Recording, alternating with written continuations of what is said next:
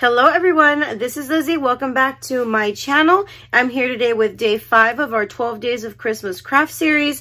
This is being hosted by my dear friend Rosa Kelly from Rosa Kelly Scrapbooking. Thank you Rosa once again for having me part of this journey. And I have to tell you that I am loving this series. Like the girls, um, projects that they have been sharing have been amazing. Everybody's doing something completely different. So I would highly, highly suggest for everyone to go in and um, go check out their channels, comment, subscribe, like, because these ladies are phenomenal crafters. Um, first and foremost, let me go ahead and share with you our requirements in order for you to be um, eligible for our uh, giveaways. We're each having our own giveaway on our channel. You have to be 18 years or older of age. You have to be a visible subscriber to every single one of our channels. And you also have to like and comment because that's how we're going to pick our winners. Now, it's not required for you to comment, but if you don't comment, we can't pick you. So, enough of that. Let me go ahead and share with you my day five project. Um, last time I did share with you this cute little embellishment box with this gorgeous little tassel at the end. So this is what I'm going to show you how I created a tassel um, of various ribbons and jingle bells. So here in front of me I have just an assortment of different Christmas ribbons that I got from Hobby Lobby, the Dollar Tree. I have lace, I have my jingle bells, and I have a book ring. This is what I'm going to use to attach everything. Now, when it comes to your tassel length, it all depends on your preference. So, if you look at, let me go ahead and take this one off because I don't want to pull out the entire box. When I look at this tassel, when I took this tassel, I just kind of measured to see how long I wanted my tassel to be. So all I simply did is I got my ribbon and I folded it in half over the book ring. And if this is how long I want my tassel to be, this would be the length of my ribbon right here. So that would be my guide. And that's what I um, want to go ahead and use. Now here I have this one and I have this long piece of lace, which I think I can fold over to make two pieces. Yep, I can. So I'll cut that there and cut this in half. And um, I have this pretty bling that I got from the Dollar Tree, but it's really, really thick. So what I started to do is I started cutting it in half, or not in half, but this is like the perfect ribbon size. So I'm going to go ahead and keep cutting that down, and I can actually get two pieces out of this one thickness. So let me first measure it off so I can know how long to cut it. And the measurement, uh, y'all don't have to be precise. I mean, the, the pretty thing about, or the best thing about a tassel is that it's not having, it does not have to be, you know, uniform because, I mean, the, the more, um, on uniform, I guess you could say it is, the prettier it looks. It looks very rusty, rustic, very shabby, and that's what we're trying to go for. So now the colors that I'm using in this tassel are not the pink and the pastels, that type of uh, Santa baby color. It is the typical, you know, traditional red, green, and gold. Now this one I am going to save because this can easily be used as a trim somewhere else. Um, and let's see, I do have some red cord that I would like to use. This is from Hobby Lobby.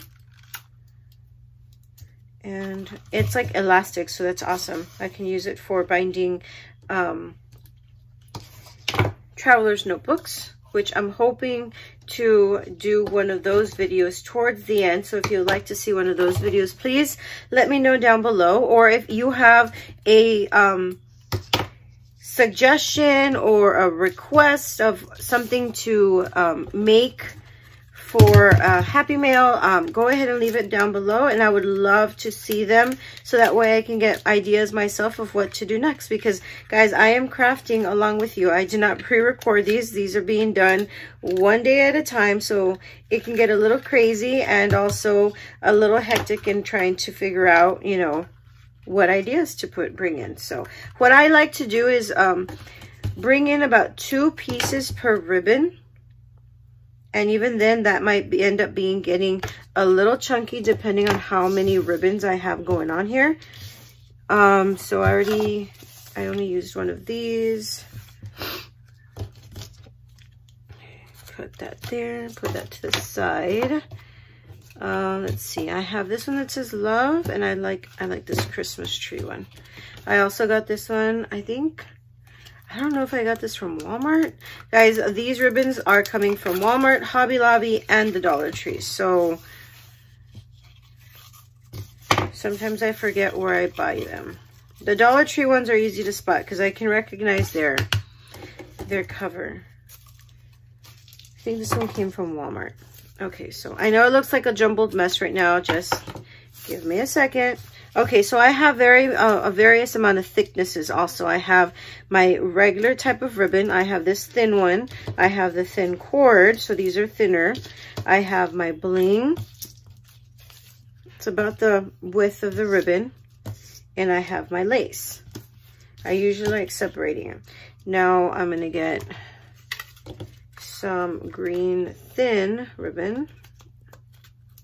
If I can just take this tape off. Come on.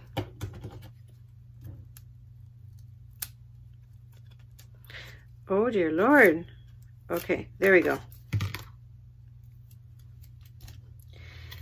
And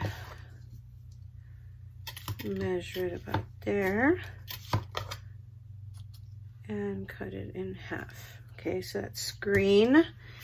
And I want to say I also have, let's put this one out of the way, I have red.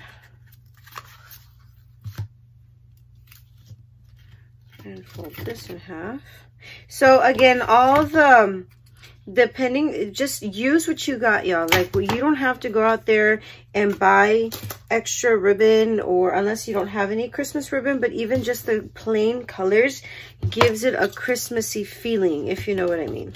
Um so then i have one more which is a sheer ribbon that i did get at the dollar tree and i love this this this ribbon. I'm any color anytime like i love this ribbon. I use it a lot for my closures and my albums.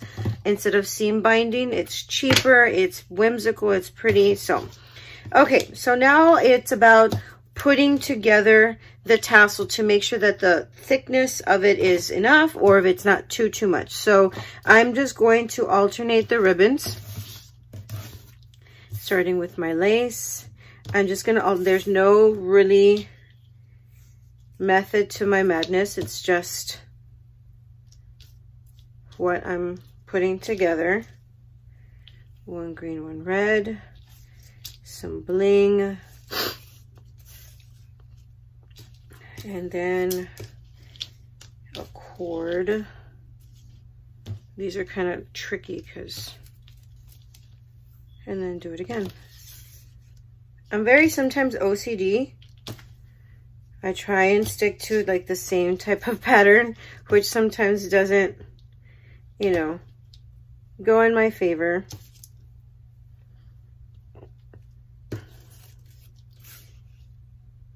And then the cord and the ribbon. Okay, so this is, and I'm just going to pinch it in the middle. And there is my tassel. Now there's certain pieces of ribbon that are a little longer, so I'm gonna try and pull them this way. Okay, that seems like it's gonna work. Now the only thing that is missing are my jingle bells. So I'm gonna leave that there. I'm actually gonna put my glue gun just to hold it.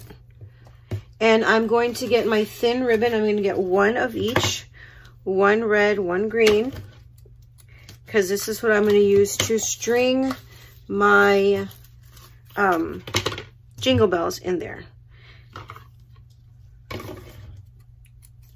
And since these are thin, I don't mind um, having more than four of those. Okay, so you string this in. And the jingle bells, I got these from the Dollar Tree as well.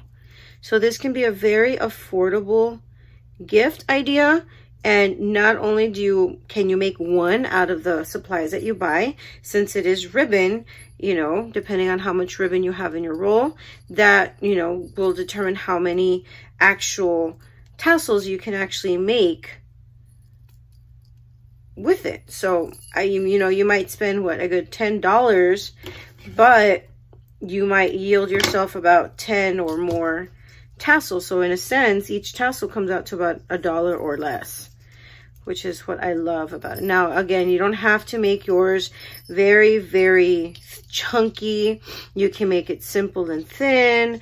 It's all about your preference. But honestly, everybody here probably would like a good tassel to put at the end of their journal, at the end of their keychain, you know, and there's, there are the little jingle bells, you see? And now I'm going to do the same thing to the red.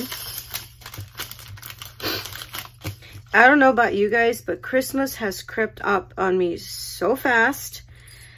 We, um, it's just been a very, very hectic, I guess, two months. Um, because I am no longer, I had, I switched careers completely. I'm just going to chit chat here while I do this. I switched careers completely. I'm no longer a teacher. I resigned from my district. Um, I for those of you who have been following me um, for a while, you know that I was holding down two jobs. I was a teacher and a speech therapist after school at a rehab clinic. And um, the rehab clinic offered me a, uh, a full-time position as their clinical director throughout the day. And then towards the end of the afternoons, if needed, I'm still treating patients because I am still a therapist. Um, so that was something to get used to. I'm, I'm on my third week at my new job, so, and there you go.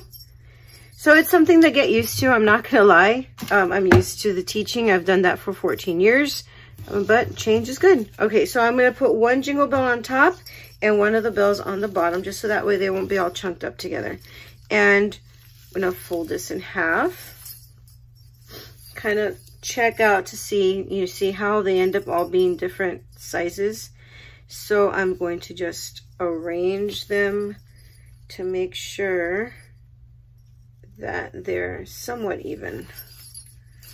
I think that would look good. And I can easily go ahead and trim stuff off later. But there's one little, this red ribbon is ticking me off. There it is. There we go. Okay, so now you're going to have to decide which ribbon you're going to use to wrap it. Now, I should have done this. Oh, the lighting is going to change a little bit, guys. I'm sorry. I have to connect my glue gun.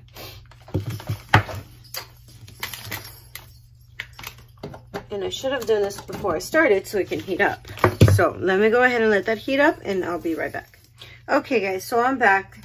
The glue gun seems to have been heated up a little bit. So what you're going to do now is you have your tassel or your ribbons um, fold it in half. You're going to grab your book ring. I find it easier if I just open it and hook it right in the middle instead of trying to like thread it through. Uh, and it closes just like that. And then I'm just going to, you see this little hinge right here? I'm going to put it at the bottom. That way the ribbon hides it. And then I'm going to pinch it together like that. So now I have my tassel. I am going to grab whatever ribbon I'm going to decide to wrap around it. This one is going to be this pretty gold thin 1 4th inch ribbon.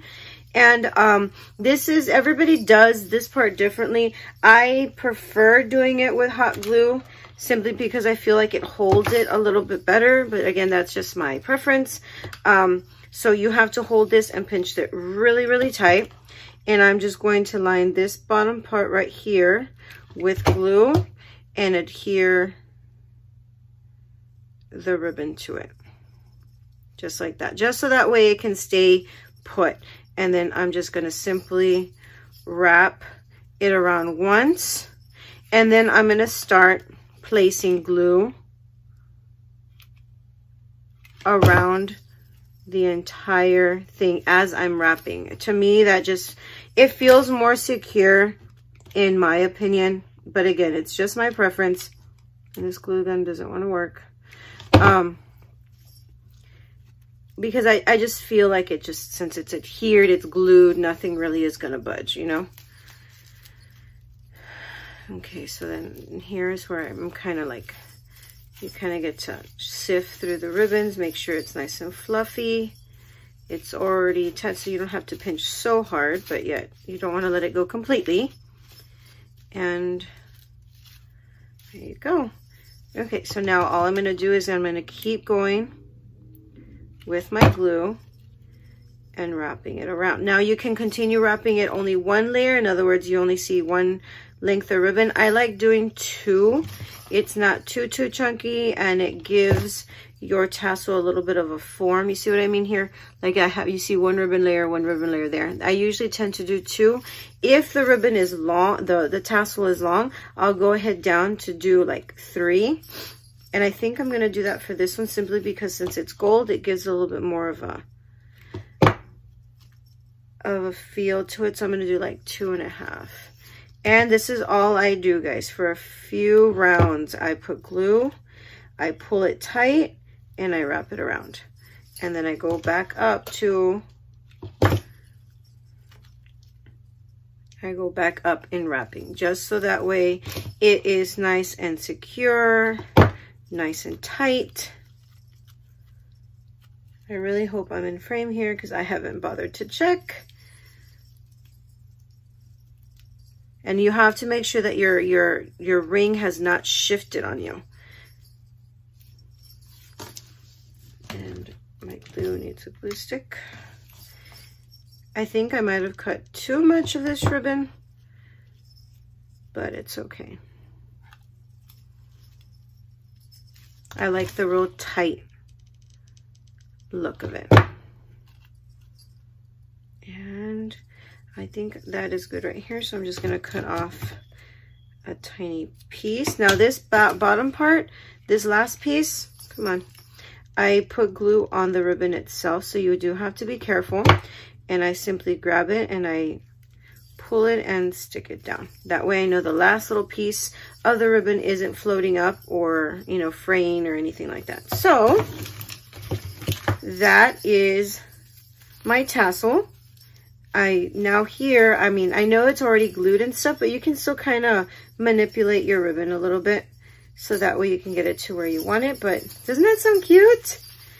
And all the beautiful gold green colors. And then you have this beautiful sheer. I love the way that looks in front of the, the Christmas tree because it looks like the Christmas tree is green, just like it should be instead of white and gold. So there you have it. There is this easy, quick, fun way, and of course, inexpensive way. Let me turn the lights back on. I need to get a, um, what you call it? One of those uh, snakes, so that way I can connect more than two things in an outlet. Um, this is a really cute, inexpensive way to give something to somebody. Um, again, I use, let's, let's try and see. If you get your stuff at the Dollar Tree, I used one, two, three, four, five, six, seven, eight. I used eight different types of ribbon and I used four jingle bells out of this entire pack. That's nine. And then I guess if you buy a pack of these at the Dollar Tree, that's 10. So $10 will yield you, I would say, at least 10 of these. So these tassels will come out for a dollar a piece. And I think these are the cutest little things to give out um, to your, not only your crafty friends, like, you know, anybody out there who is, you know, into having tassels and their journals, their planners, their books, their keychains. It's just a cute idea. So all of this if you buy it at the Dollar Tree, which the Dollar Tree does have beautiful ribbon, um, could be about a dollar a piece. And I thought that was pretty neat and a cute way to gift it. Now you can easily package this in a prettier bag and then put a topper on it, which by the way, I'm planning on showing you a little later about how I'm going to package all these things up. So if you're interested in that, please leave a comment down below as well. Hopefully you guys enjoyed the channel. Thank you so much for tuning in, guys, and I cannot wait to get to you tomorrow. So until then, we'll see you on the next one. Bye.